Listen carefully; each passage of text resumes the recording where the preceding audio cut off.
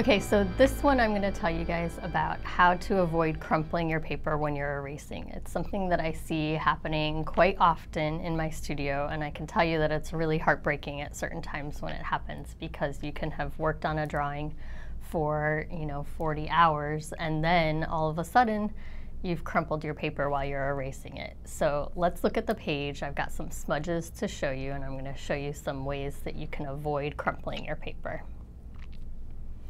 Okay, so here I've got a sketch going on. It's of a bunny. you can see that there's some smudges all the way around where I've kind of beat it up a little bit while I've been working on it or I've rested my hand on it and I've smudged.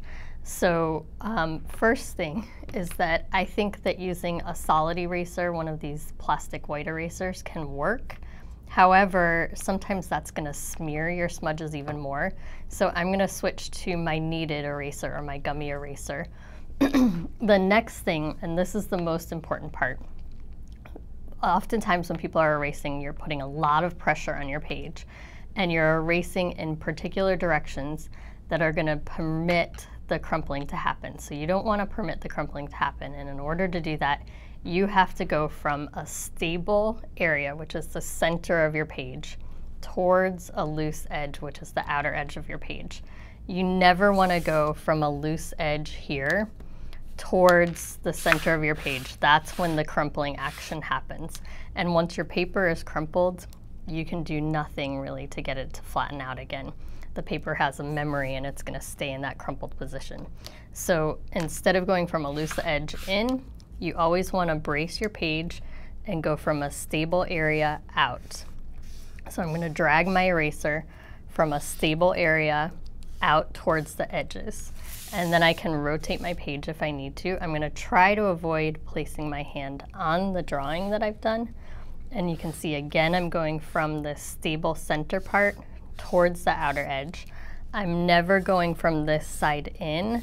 Even if I'm bracing it, that's going to enable my page to crumple. And I wanna avoid that at all costs. So I'm gonna rotate around, go from a stable side out to the outer edge and get all those crumbles to come off. or uh, smudges really. They're not crumbles because I'm not using my regular white plastic eraser. So stable to unstable. And you can see I'm smudging it some more where I've put my hand down. And there I just broke my rule. See how easy it is to do it? I went from an unstable edge to a stable edge. And that's gonna give me potential chaos Okay, so let's try again. We've got another one. you want to go from stability to instability. So I'm going to go from the center to the outer edge. I'm going to go from the center to the outer edge. See how I was almost tempted to go from that outer edge down because it was easier without rotating my page.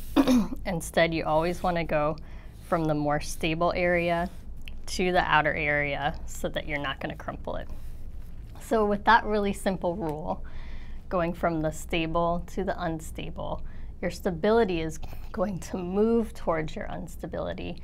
your instability. If you go from your instability in towards your stable, it's going to bring chaos into your stable area. So that's going to always be um, at risk of crumpling your paper. So hopefully this will help you guys out and you won't ruin any projects that you really care about.